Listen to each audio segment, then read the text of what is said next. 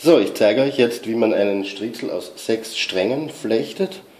Ihr seht, in der Mitte sind die Stränge etwas dicker, am Rand sind sie etwas dünner.